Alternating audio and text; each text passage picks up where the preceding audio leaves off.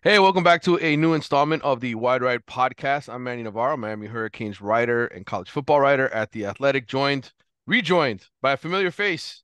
Carlos Ledo of the MIA All Day Podcast is back with us. Carlos, it is Wednesday, April 17th, around 1 p.m., which means it's two days after the end of uh, tax season. How does it feel? How do you feel? Yeah, after Terminator Judgment Day, it feels amazing. It feels like a, a big weight has been lifted off my shoulders. I feel very relieved. You know, it, MIA all day is very appropriate. I've been MIA for the last couple months, but I'm back. I'm back. and uh, you know, although I filed like 100 extensions, I've got to like October to do that. I'm good. I'm not worrying about it. But I have people pressuring me trying to get their, their taxes done before the deadline. Uh, because you know people down here, man. They they aren't proactive. They don't do things like ahead of time. They want to come in and you know, day of with the deadline right there looming, drop a stack of papers in front of me and say, "Can you go through these bank statements and uh, file the taxes for my LLC?" And I'm like, "No, get your shit, get out of here, file an extension." well, listen, we're happy to have you back. Uh, there were a lot of listeners of the Wide Right Pod who were missing you, wondering what was going on. You you confused them, telling them you were on suspension. You were not on suspension, for the record. No, no, I was actually just uh, on a pilgrimage to Nanda Parbat.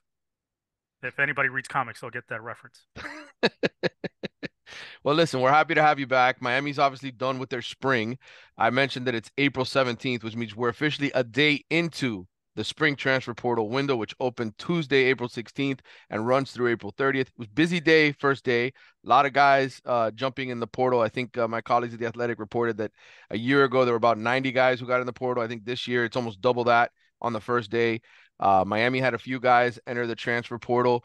Uh, TreVonte Citizen, the running back, uh, who unfortunately had that terrible knee injury. Logan Sagapolu, the offensive lineman who transferred in from Oregon uh, and basically started one game for Mario in two years. And then, of course, the much uh, discussed quarterback, Jacurri Brown, uh, he entered his name into the transfer portal as well, joining Nyjalik Kelly and Henry Parrish Jr. So five guys who started spring football with Miami are gone. There'll be a few more, Carlos, because Miami is right around 86, 87 scholarships right now with the 10 guys that they picked up, uh, or the 10 guys that they're going to be adding, rather, uh, in terms of freshmen here, um, you know, that, that are enrolling in the summertime. So still got to get under the 85. Also, looking at some big time targets, including this kid, Damien Martinez, uh, the running back from Oregon State. We're going to get into the transfer portal, discuss a whole lot of that, uh, Carlos. So we got a lot of, we're going to get your thoughts on all that kind of stuff. Yeah, man. Uh, listen, I, I, think the, the most interesting thing, it's not just because it's not just Miami's roster, but I think the transfer portal is leaving a gaping hole in everybody's roster across the country, kind of like the GIMP left a gaping hole inside Marcellus Wallace in Pulp Fiction. He's back, ladies and gentlemen. He's back.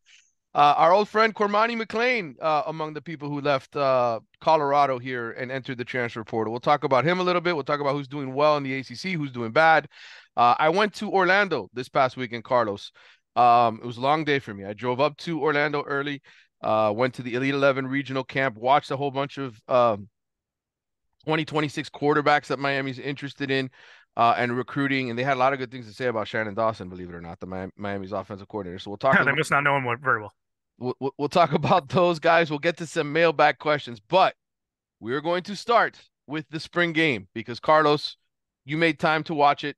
Uh, you you, you watched it uh, online. Uh, you had some thoughts.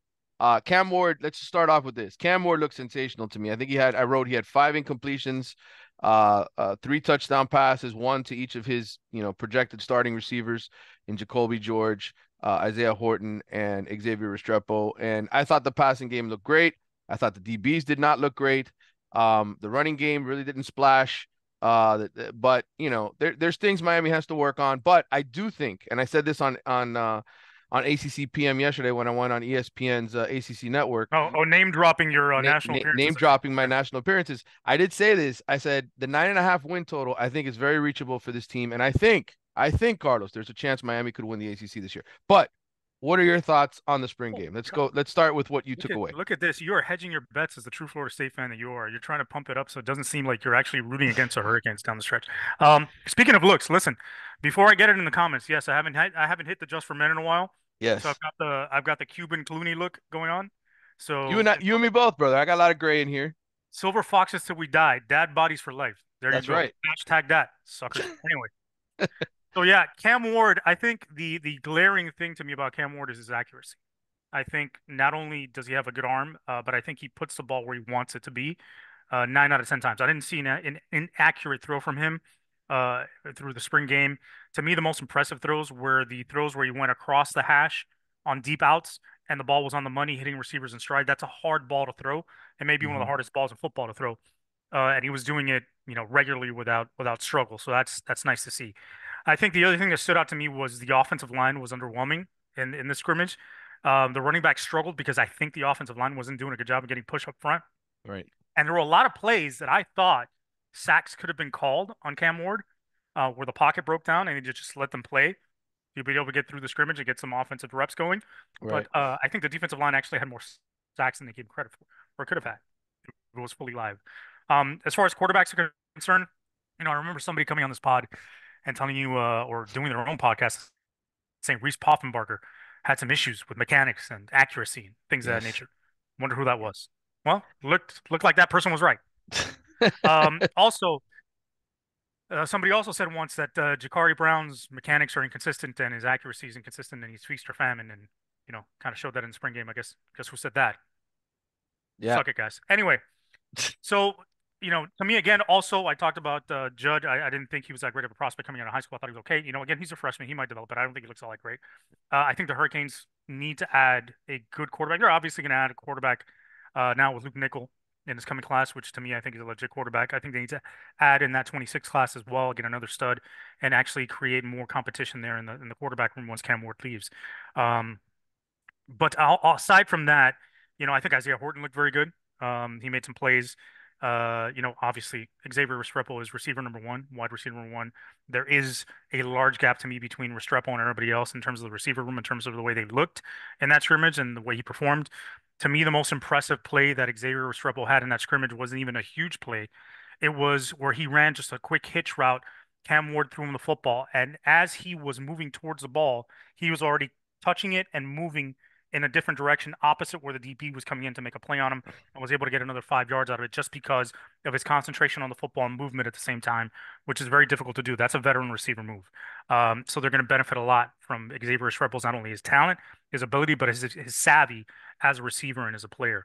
Um, like you said, I think the DBs were mediocre. I didn't think they did well. Um, I think they left a lot of a lot of guys open, a lot of guys running free, a lot of gaps in the zones when they did play zone um, that's concerning. I think Miami has to add at least one, maybe two corners in the portal, maybe even a safety. Who knows? But I don't think I think that that secondary is a concern right now.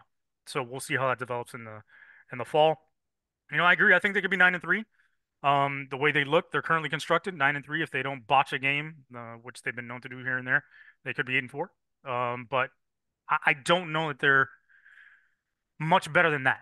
Um, they could get lucky, maybe, maybe win a here, get a break, win a game here or there that they shouldn't win, um, or they, they pull out a win in a place uh, that's tough to, to win or a battle that they uh, normally would would fold in. They come out with a victory and end up ten and two. I don't see anything more than that to be quite honest. But I think I think Mario's going to be hunting in the portal and shopping and adding guys where he needs to. And I think uh, running back as well as a place where they need to add a guy after losing Henry Parrish. Well, I don't know if it's the orange Gatorade speaking to me, Carlos, or not. Um, but I I watching that spring game, talking to people who have actually been out there, football people. I'm not talking about fans, mm-hmm. football people who analyze talent and rosters. Um, and somebody who told me Florida State was going to win the ACC last year, uh, and was right, and they went 13 and 0. And he told me Miami's going to win the ACC this year. I I feel good about the offensive talent on this team in terms of wide receiver, uh, quarterback, offensive line, starting offensive line, maybe not necessarily the depth. Um, and I think that goes a long way in this conference. Um, you look at Florida State last year, uh, Jordan Travis, before he got hurt, was probably the best quarterback in the league, uh, most consistent guy. He had legitimate weapons around him you know, uh, and Johnny Wilson, Keon Coleman, Jaheim Bell. He had a really good running back in Cedric uh, Benson. Um, or it's not Cedric Benson, but you know what I mean. Whatever. That was Benson. one hell of a running back for Texas back in the day. Yeah, yeah. The other Benson, Trey Benson. Um, they had a complete offense, and their offensive line I don't think was as good as Miami, and the Hurricanes were within seven points of that team. Um, this Miami team, I think, has a better player at quarterback than Jordan Travis and Cam Ward. Yes. I think they have the best. I'm going to make this argument: the best slot receiver in college football, and Xavier Restrepo, if not the best, certainly top five. Top five at least. Um, I think Isaiah Horton took a step up this spring from all accounts, from people that watched him all all spring and and said to me he's a legit outside guy. Um, and I think they're gonna get Damien Martinez, who is a legitimate, uh, number one running back, ran for over 1,100 yards last year in a very good Pac-12 conference. So, um, I think between those four guys and some of the young guys that they've added to this roster, like a JoJo Trader at wide receiver, like a Nike Carr, um, with Jacoby George doing what he's supposed to do and not getting himself in trouble, that there is enough offensive talent on this team to score a lot of points and win this conference because I've also heard that Clemson is not doing as well as they hoped this offseason. They didn't they certainly didn't go into the transfer portal to get anybody. So they're relying on a lot of guys to grow up. The offense they're having some offensive line issues. Uh Louisville, it seems, could be losing a few guys to the portal because they're having some NIL issues. And then Florida State doesn't have that same wide receiver core or quarterback, even though I think DJ Uiagalelei is going to be a solid, you know, probably top three quarterback in the ACC this year. So, um, I think when I look at the conference as a whole, that's why I have that confidence. I also think Miami's defensive line, from from all accounts, from people I've spoken to that are football people, when Rueben Bain is healthy and Kiko uh, Mauigoa is at middle linebacker, and Akeem Mesidor is back with the right wearing the right shoes, and Miami, you know, implements Elijah Alston and and throws in another couple pass rushers. CJ Clark, I think, was a great pickup at D tackle. He's mm-hmm. the one who helped shut down the run in that spring game. I think their front seven is going to be very, very good. Wesley Bissainthe yeah, took some steps. So the only area that I'm worried about really is the secondary. And and I think they've got three guys that are reliable. I wouldn't say great, I would say reliable. I think Mish Powell, Damari Brown, and uh Mr. Number Two, uh Daryl Porter Jr. Yes, I'm sorry, Daryl Porter Jr. I don't know. I was gonna call him something else, and I'm like, it's not. That's not the name I'm thinking of. Daryl Porter Jr. I think those three guys are solid. I think they're gonna get some guys in the portal here and solidify this thing. This is this is a team that's shaping up to be right now, as is, even with the the, the guys who have left. I think one of the best teams in the ACC on paper. I'm confident saying that. Um, I just think I just think Cam Ward uh, is the X factor and he kind of, yeah. you know, he's kind of a bigger version of D'Eriq King with a better arm. You know, yeah, uh, he's not. He's not as. Uh, he's obviously not D'Eriq King with the wheels. I think D'Eriq King was at a different level running the football, but he's definitely, and I think he's a better passer than D'Eriq. I mean, elusive, like just being yeah, able to elusive. extend plays, extend plays, look down the field, make throws, all those things. I think he is. He's the best passer they've had here in a, in a while. Um, he's just got to be consistent with it, and I, and I hope that happens the regular season. I don't see why not. He did it right. at Washington State, and I agree with you. On paper, they're they're a really good team. They're very talented, but they always are, right? Well, um, they're last well, year we went into the year with last, questions. We did. We still have questions, and we thought they could have been eight and four, nine and three last year, mm-hmm. and they, they kind of shit the bed in a couple games. So that's that's the thing they have to overcome. To me, the the question isn't the talent with D'Eriq King and the weapons around him. To me, the question is how do they utilize those weapons, right? Right. Because you can have all the talent in the world, but if you're handcuffed, if things don't go if you're not given the opportunity and the tools uh, and the resources to be able to exploit that talent and use it to the best of its ability, then it doesn't mean anything. Um, so we'll see how that goes. And I think to me, yeah, the the biggest concern with the the, the you know the front seven is going to be great. I think, like you said, the big concern is the secondary. That's a huge concern considering that most people in college football throw the ball a lot. But if you can get to the um, quarterback, if you can put pressure, if Rueben Bain is healthy and yes, guys like Akeem Mesidor and and CJ Clark and and you have a barrage of defensive linemen that you can throw at people, um, you're going to look a lot better in pass coverage. And and personally, Carlos, you look at who they're playing. They're not playing great quarterback. Uh, what's his face is gone from North Carolina. Um, you know, I mean, Jordan Travis is gone at Florida State. I mean, there's guys that that have have played quarterback for a long time that have left this conference. Yeah, I would say they they arguably had a really good front seven last year and a better secondary last year than they did this year, and they still struggled in games. Well, they didn't lose. They didn't lose because of defense last year. They lost. No, but they, they had games where they gave up 41 to North Carolina. Uh, sure.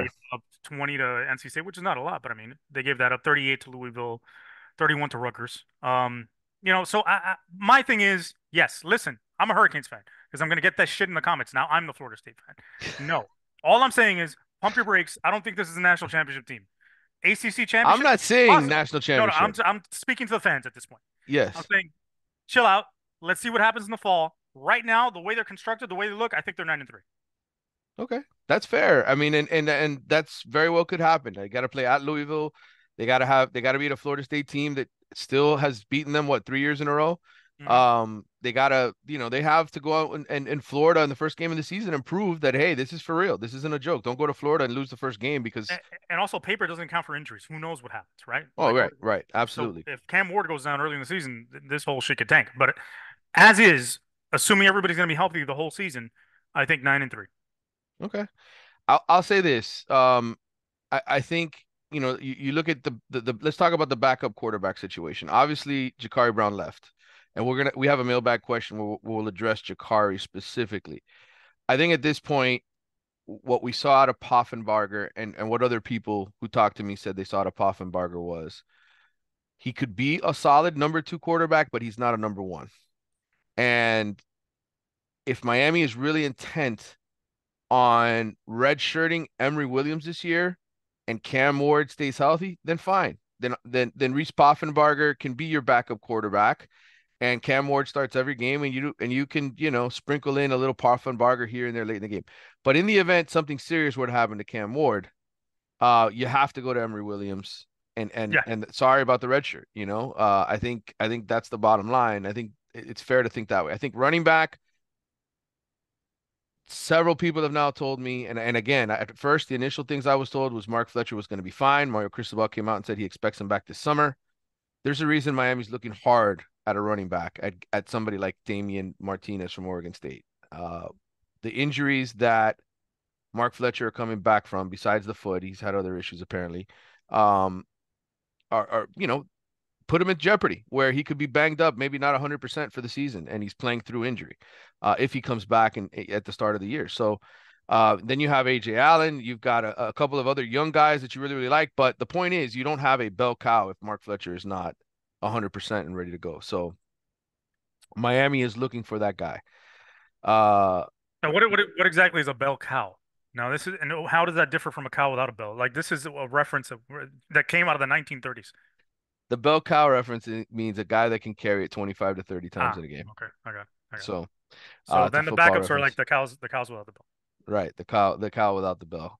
Um, I, I am worried about the tight end position because Elijah Arroyo, for whatever reason, I, I don't know that the tight end position is going to be used much, if at all. I think they are going to be four wide.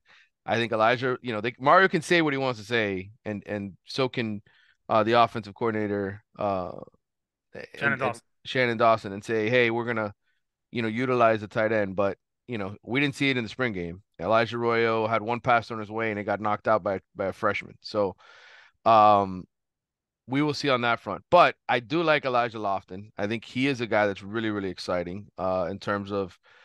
To me, I, I, said this to some to another to a scout. I said this is Alonzo Highsmith uh, in terms of body build. You know, Alonzo was such a big bodied guy. Some people thought he was to come in and play defensive end uh, or linebacker. Here at Miami, ends up going to fullback.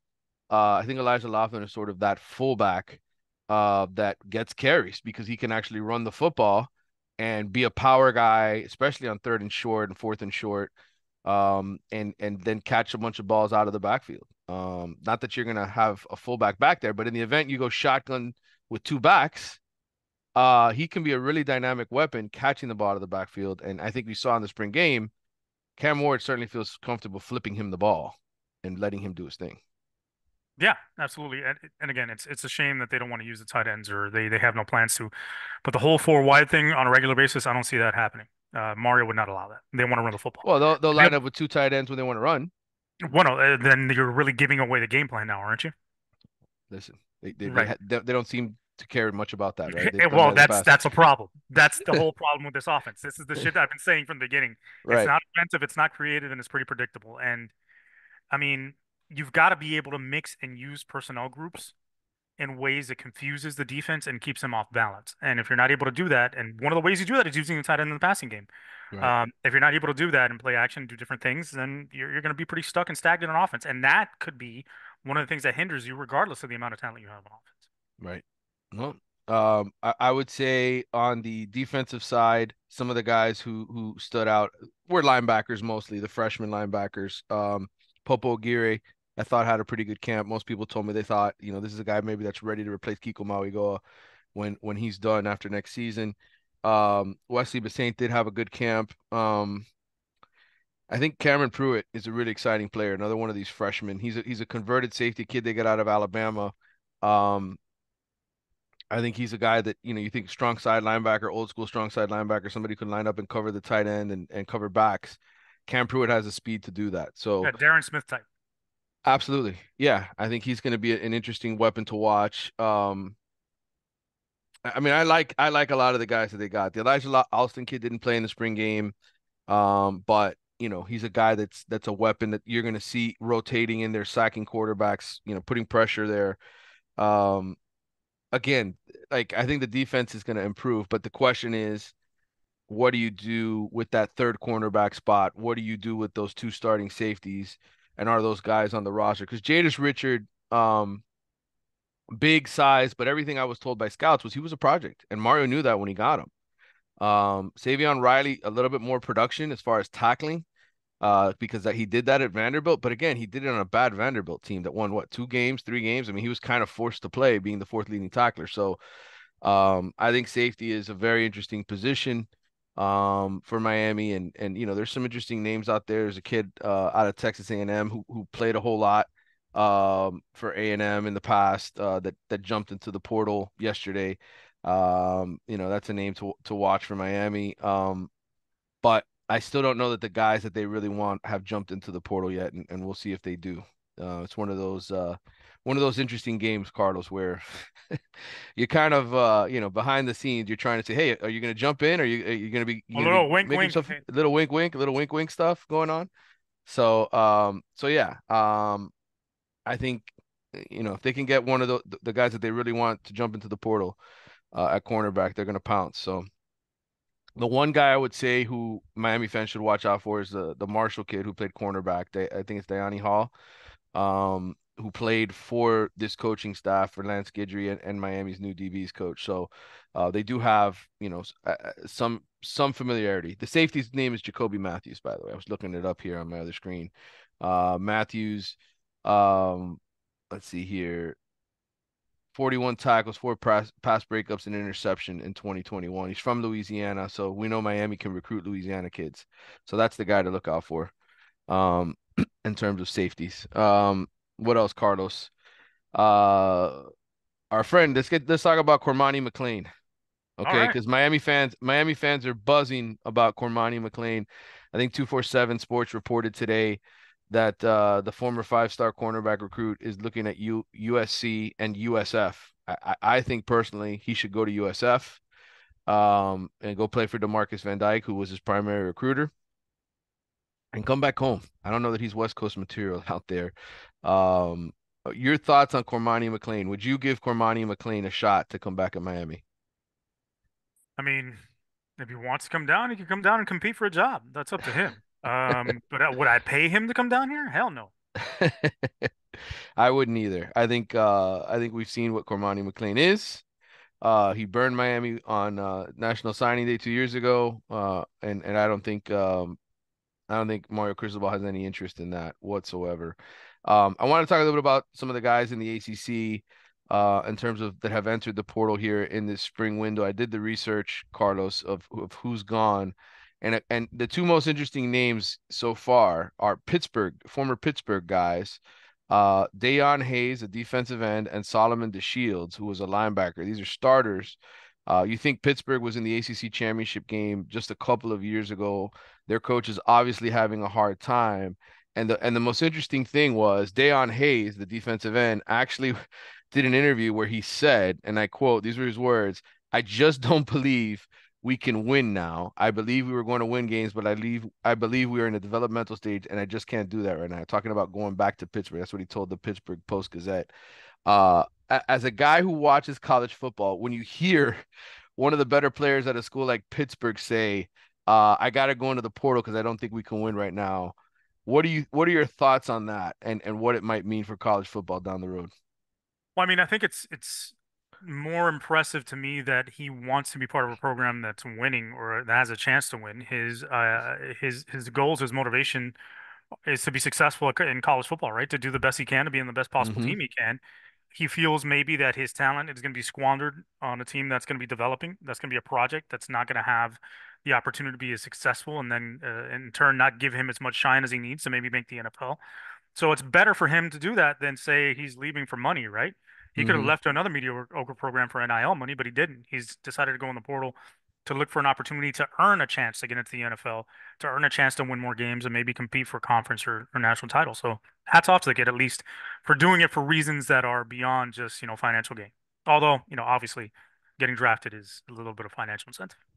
Absolutely. Um, but I, I found it interesting and, and almost sad to just show people the state of what can happen to your program, right? In, in just a matter of years. Like I said, Pittsburgh won the ACC championship just a couple years ago. Uh, Wake Forest played in the ACC championship just a couple years ago.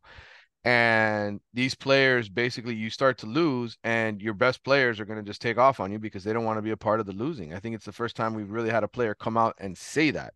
Usually, I mean, Dayon Hayes isn't some sort of superstar either, Carlos. I mean, this is a Right. guy 10 and a half tackles for loss, four sacks, four pass breakups, a forced fumble last season.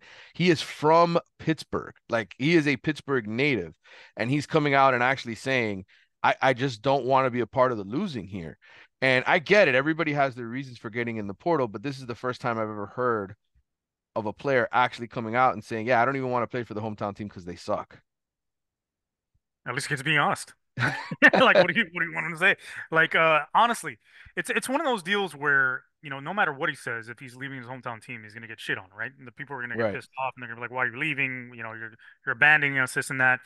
And far too often, I think a lot of guys have made decisions because of the tug of home, Right. uh, and stayed in bad situations because they felt some sort of loyalty to to where they were from or where they grew up, and it's a detriment detriment to them in a lot of ways. So, you know, the kid's looking out for his best interest, man. He's doing what he feels he needs to do. It sucks to lose. It sucks to be in a place where you don't think you can develop and get the kind of shine you need to be able to take the next step in your career and life. You know, coaches do it all the time. If they see their rosters kind of down, or if there's a better opportunity to win at a better program, they leave all the time. So Right. nothing different here. I guess not. I guess it's just kind of disheartening. Like if you're a fan of some of these other lower tier programs, and and you know, our the columnists uh, Ari Wasserman and Max Olson, our, our national writers over at the Athletic, have written a lot about you know the transfer portal and what it what it's doing to college football. I've heard a lot of people, Carlos. I've talked to a lot of people who are like college football is being destroyed by this second transfer portal Yeah. window. Um, I don't know. I guess when I just look at the sport long term, and I think, man, if a Pittsburgh area kid can can win a conference championship at their school a couple years earlier, uh, and then decide as a senior, yeah, I'm not sticking around because we suck right now.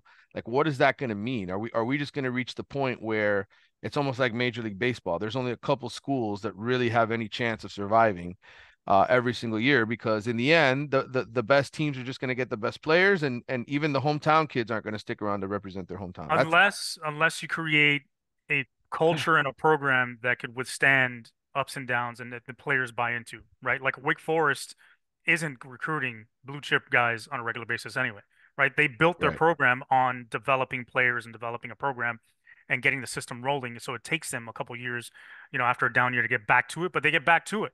Uh, and, and most guys stay at Wake Forest. You know, they'll lose a star here or there, like a Sam Hartman or other guys, but for the most part, they hang on to their players. So I think this puts the onus and the pressure on programs and coaches to establish a culture where they're not only recruiting guys, right, high school guys or guys from the portal, but they're recruiting their own players on a regular basis and creating a, an environment and a culture that lends itself to guys staying and wanting to see things through. If not, then you're just hiring a bunch of mercenaries. If you don't have that culture established and that foundation established, so it's more pressure on the coaches. They got to do what they got to do, right? I mean, it's just like it's been like this with with college basketball for a long time because yeah, guys can leave after the freshman year.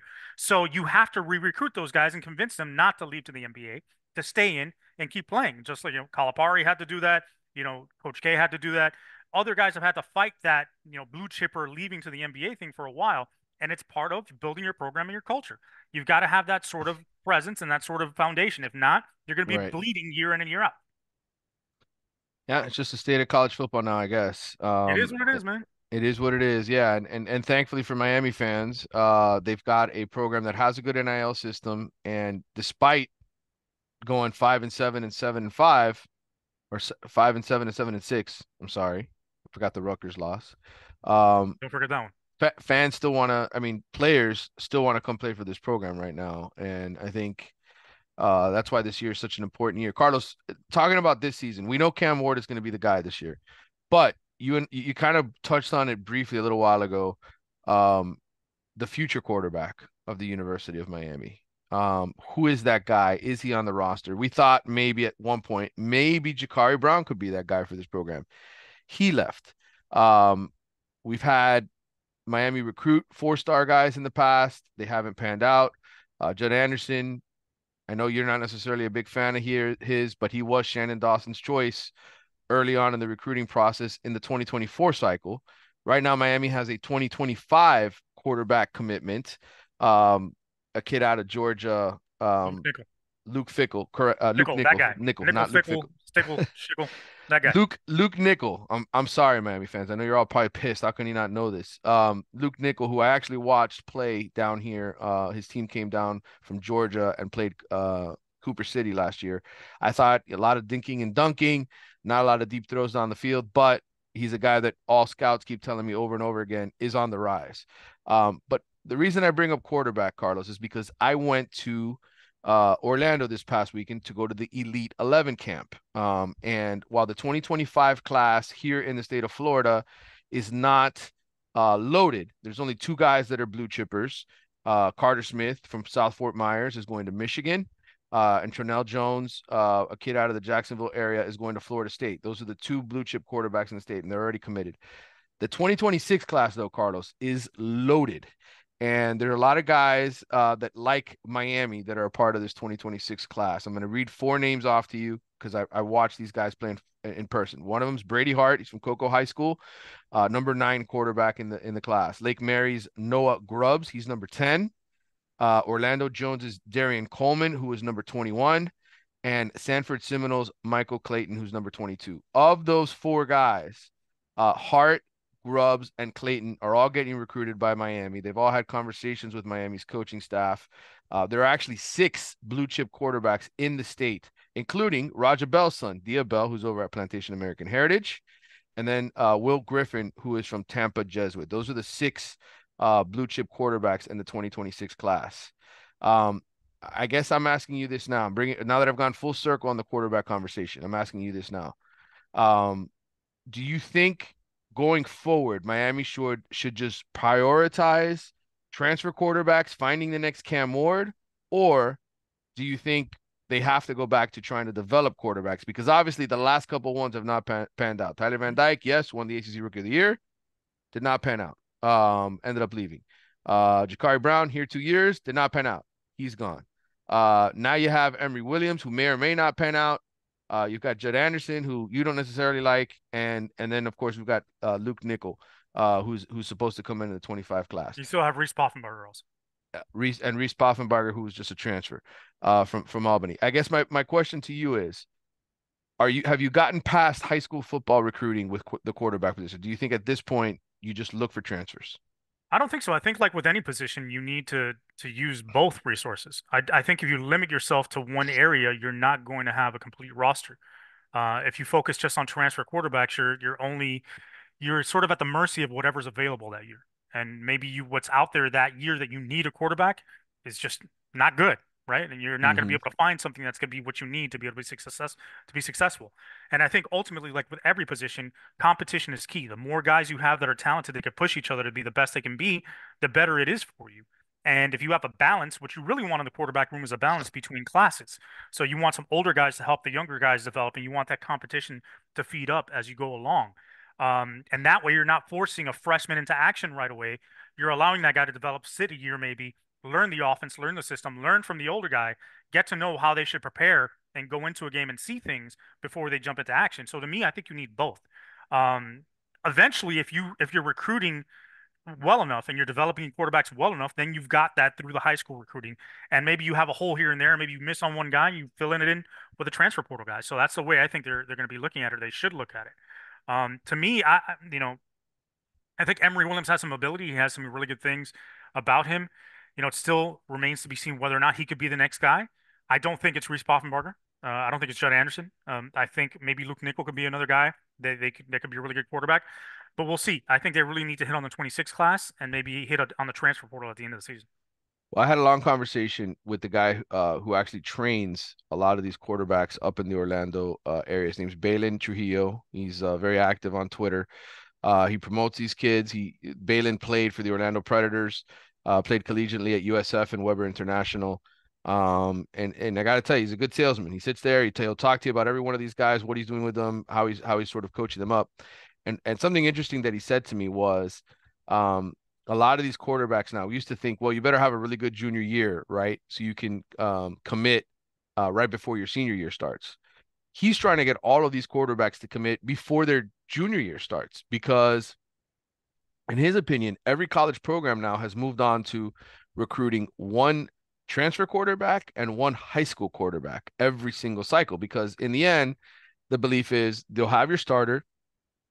You may have your quarterback of quote unquote quarterback of the future that you just recruited in the in the previous class and then you need two more right? You need two more scholarship guys. So what happens is you try to lock in your your future quarterback and you leave space for one for one transfer.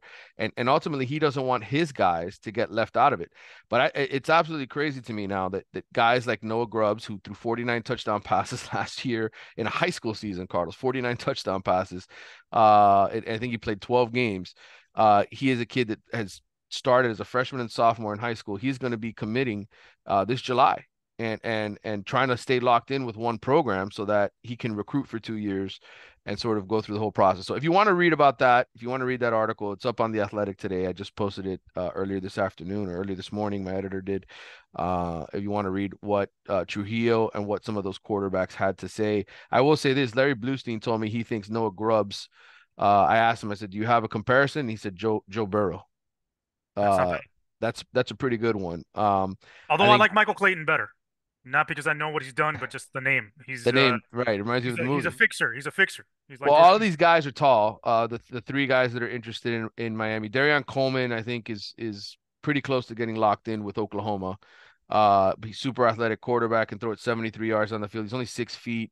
170 pounds right now, but his dad is 6'2, his mom is 5'9, and you know, they're expecting him to grow. He's got size 12 uh shoes that he wears, so they're they're expecting more growth. And then the other guys are all 6'4, 6'5, you know, 190 pounds and with rocket arms, Carlos. So it's a really good year for quarterbacks in 2026. So if you want to read about those guys, I wrote an article last year about Dia Bell. Miami's recruited Dia Bell.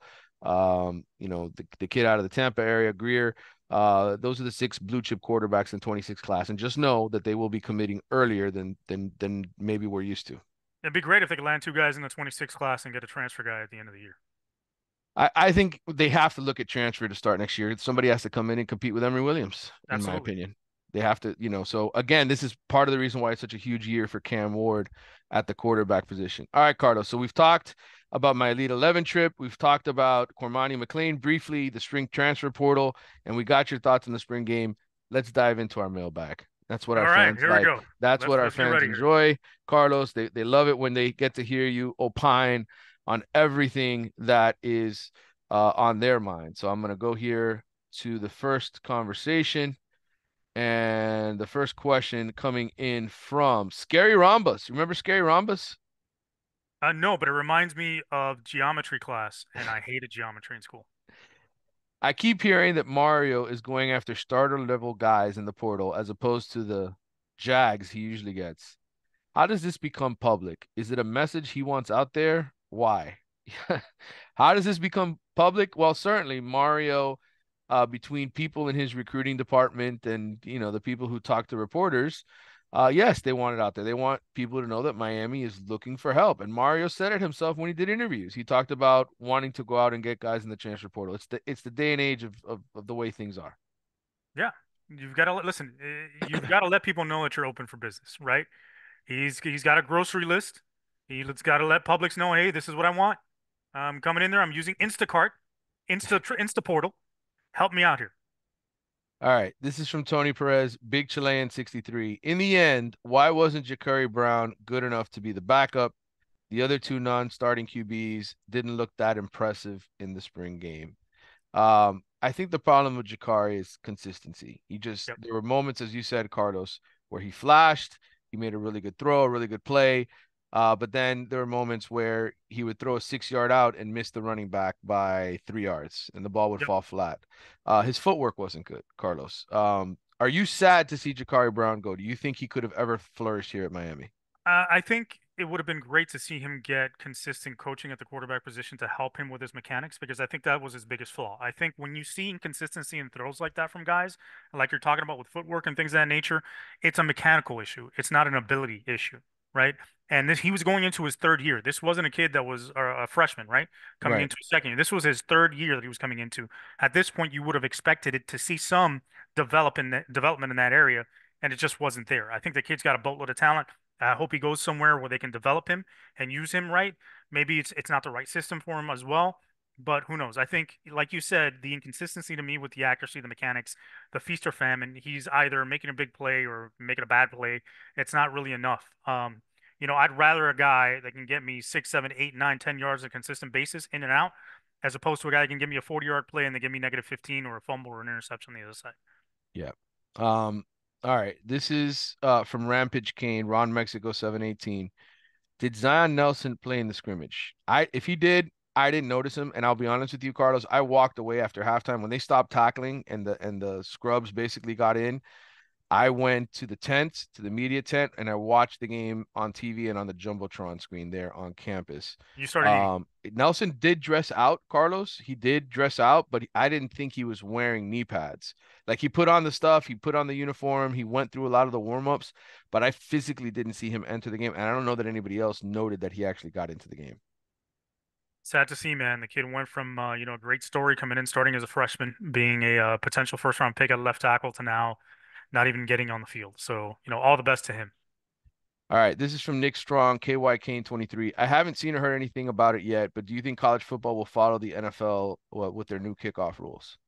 Yeah, I think everything that the NFL does, ultimately college uh, will, will probably try and implement. And if you're unfamiliar, the NFL now, Carlos, is basically taken from the XFL, which is uh, in terms of the kickoff, where I think, uh, you know, guys line up, I think on the 35 if I'm not mistaken, and and the mm-hmm. kicker kicks the ball, and then they're not allowed to start running or coming in until a certain point. It, it's to avoid injuries, to not have guys coming down the field full speed, uh, but to still be able to do the kickoff. So I think for now, uh, college is content with the way the rules have changed. Where basically every ball goes into the end zone, you get it to 25. But uh, I, I would expect college football will do it eventually. I, uh, they, they, they always sort of seem to copy each other because they want it to be uniform. Yeah, and if you know, I wouldn't be surprised if at some point the NFL and college football just go away from even doing kickoffs at all. Just go, hey, everybody starts at the 20 and 25 yard line. Here's the ball. Let's go. Right. All right. This is from our buddy uh, Larry Shender, Miami Media Associates. Who would you rather have at running back? Uh, the kid from Oregon State, Damien Martinez, or North Carolina's Omarion Hampton? Carlos, I just finished doing the all-state team. I, have been doing this. I don't know if you. I know you've been buried in taxes, but uh, I've been doing these all-state teams for the modern recruiting era for the state of North Carolina. And Omarion Hampton, I put I put the two running backs for the state of North Carolina, uh, Omarion Hampton and um, Bryce Love, who played at Stanford. Both of them graduated from North Carolina high schools. And I've gotten nothing but shit for not putting Todd Gurley on the team at running back. And I guess my explanation, and and this is the thing, I want to just get this clear for, for anybody who tunes in. These all state recruiting teams isn't based on what guys do as professionals, it's based on what they do in college. And so Omarion Hampton's 1500 yard season last year at North Carolina was better than Todd Gurley, who had one 1300 yard season and 200, not two 900 yard seasons at Georgia. By the way, Todd Gurley did not make an All American team. Marion Hampton did. And he was a finalist for the Doak Walker Award. Todd Gurley was not. So that's why I did that. But getting back to the question here from our buddy Larry Shender, um, who do you take, Damien Martinez or Marion Hampton? Who do you think is the better back? I'd honestly be fine with both, but I think Omarion Hampton's a stud, man. I think that guy can really play. He's uh, you saw him against Miami. You saw him. Uh, I've seen him the last couple of years. He can really run the football. Uh, dynamic guy. He's got power. He's got speed. And you just said it, 1,500 yards last year. That's a lot of production. Yeah, he was good. Um, there's no question. I, I, I think they're both solid guys. Uh, Damien Martinez and Omarion Hampton are both number ones. They're a little different in their style, yeah. um, physically, but I, I think Damien Martinez, he's the one available. He's the one that Miami, I think, is really in on and has a, probably a great shot to land. I'd be happy with Damien Martinez. Yeah, I'd be happy, happy with either one. All right, this is from Von Kane, your buddy. I think he's trying to incite you here, Carlos, to maybe get. He always is. He's he's a gaslighter, but that's fine. All right, all right. Uh, I've heard air raid multiple times this spring, but every year we hear about how they will spread it out. But Mario has given us this head fake every year with the chatter about Martinez, Damien Martinez. I'm just not buying it. Okay, no real question here, but interested in your thoughts. He goes, when they cite air raid principles, it just means 80% of the passes are wide receiver screens. Mario always has been a ball control guy, and that won't change. Outside of game management, his biggest coaching flaw is he forces players into his system instead of leveraging their strengths. Carlos, the floor is yours. Wow. Listen, first of all, Von Kane, thank you for uh, basically listening to me and, and, coming to my school of Shannon Dawson education. Uh, and Mario Cristobal Education as, as I've tried to give you guys all classes over the last year or so. Um, yeah, I, he's right. And to me, the only the only semblance of air raid that we've seen is the mesh pass out of this team over the last year or so with Shannon Dawson. I, I don't think there's there's a lot of air raid traditional stuff that you see in terms of the passing game. Um, I think their lack of use of the RPO and play action to me is concerning, although they did it here in the spring game a little bit. Um, but it's got to be more consistent in terms of the way they use that to, to good effect. I think at the end of the day, like I said, um, they need to use personnel groupings. They need to use the, the formations, motions, shifts, things to confuse and and and create stress on the defense, uh, and not be so stagnant. I think you see a lot of double wing out of this team, two tight end double wing. I think you see a lot of two tight ends on one side of the field, one inline, one offline. Uh, a lot of inside zone, a lot of the same concepts, and not presented or packaged differently. And I think the issue to me is that there's no versatility. There's no sort of counters to that. Shannon Dawson usually comes in with a solid game plan. And then eventually, as the game wears on, he has no counters for when the defense adjusts to him. And that's when they lock up, go double wing, and Mario says, hammer the football because that's our answer to everything. We got to see if they got better answers this year. You heard it. He gave you what you wanted. All right. This is from Andrew V underscore 17. Have you heard about any big time players entering the transfer portal from other schools? Do you think there will there will be any surprise players from Miami leaving? Well, Andrew, um, look, the big time players. If you if you want to check out the, the Athletic does a great job. They've got a, a transfer portal tracker. I added you know the, the the stuff that I've known and been able to pick up on the Hurricanes into that transfer portal tracker. Uh, we've got a lot of national writers covering, you know, who the who the best players are. It's hard, Carlos, because there's a lot of guys that people have heard of before that were recruits, right? That did good jobs as recruits, but didn't necessarily pan out when they got to college and they're back in the transfer portal now. So if you want to know who actually produces, who's actually done something and entered the portal, uh, the Athletic is tracking those guys and and and writing about those guys who have who, who are actually good. So if you want a good and the bad, go check it out there. I'm gonna I'm gonna tease you there. But if I, do I think any surprise players could be leaving Miami? Yes, I think there's certainly that possibility. I think I look at a guy like Samson Okunlola, okay, the five star offensive tackle who got the start in the spring game at right tackle for Miami.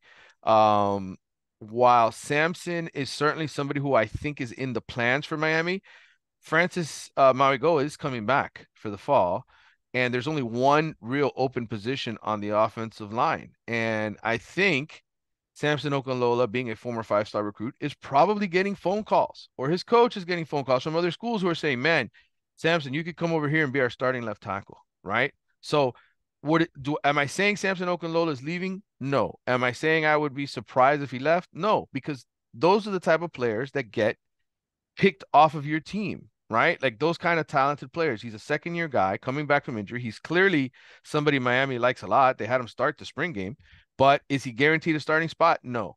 Uh, I think there's other guys like that on this team. Um, Damari Brown, right? His he's a second year player. His brother just transferred to Florida State. I'm pretty sure Florida State is trying to convince him to still go up there and to transfer and to leave Miami and to go and, and join their program. Um, so that is going to continue. There will be you know, sort of prodding of players to try to get them to get up and leave. And so, would I be surprised? No, this is the new world of college football. Yeah, absolutely. I think there's going to be a few names that we don't expect to hit the portal at do. Um, you know, I wouldn't be surprised if Reese Poffenbarger decides to leave uh, to go start somewhere else because he sees that maybe he can't, uh, isn't in the plans long term here and doesn't want to waste time sitting on the bench. Right? He's coming from a program where he was a starter for a couple years and he doesn't. He he's cool with sitting for a year behind Cam Ward, but if it doesn't seem like long term he's going to have a shot, then maybe he decides to go. Um, after the way things shook out this spring, you know, eh, who knows what what could end up happening here down the stretch with guys. Maybe Jacoby George feels like he's being disrespected here, like he's had run into trouble a couple times. There's better opportunities somewhere else for him to get the football, uh, maybe get some NIL money at the same time. I'm not saying I'm not saying that's going to happen. I'm just saying those are scenarios that are possible, right? Right.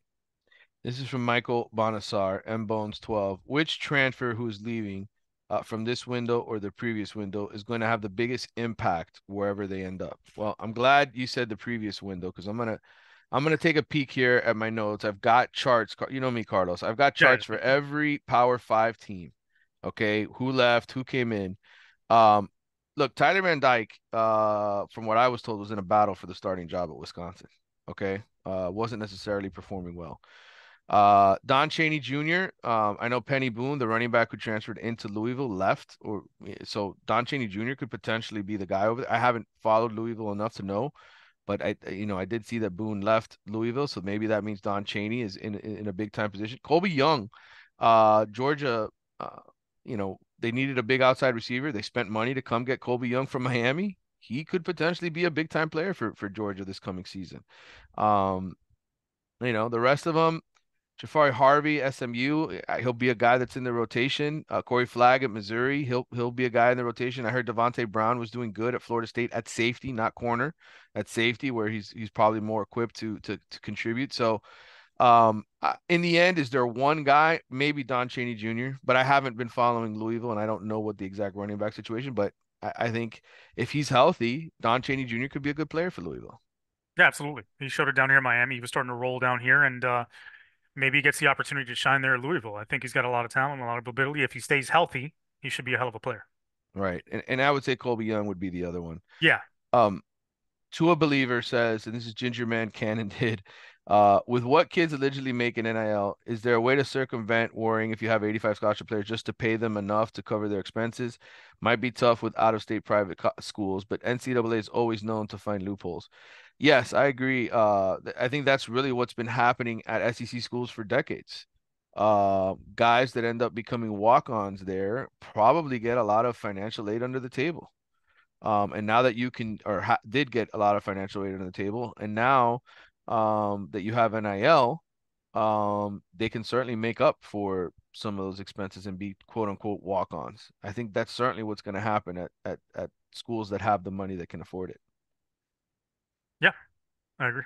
All right, this is from uh, Spurgeon Cigar. Is there any pickup in the portal which makes the, makes the college football playoff seemingly inevitable for the Canes? Well, I think if Miami were to get a legitimate number one running back and a legitimate number one wide receiver to pair with Cam Ward, look how, look how Washington made the national championship game last year, right? I mean, they had Rome Odunze, um, and a bunch of really good receivers with Michael Penix, and they scored a bunch of points.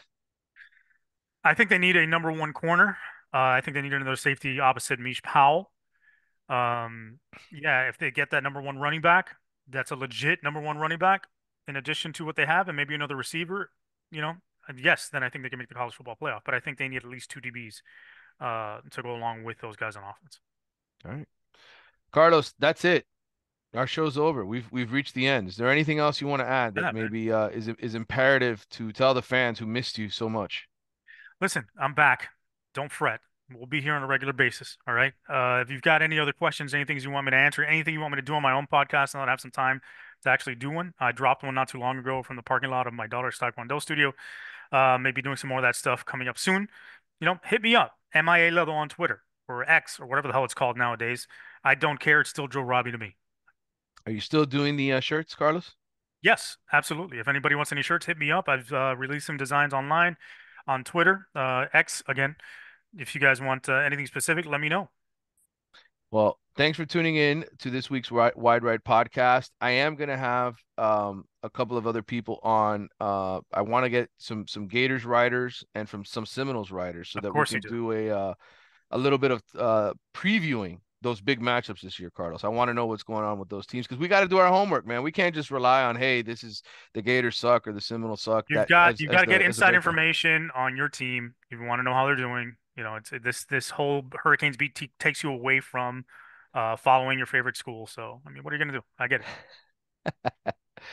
Oh man, love having you back on the show. That's gonna wrap it up for this week's Wide Right. For Carlos Ledo of the MIA All Day Pod, I'm Manny Navarro. We will talk to you guys soon. Peace.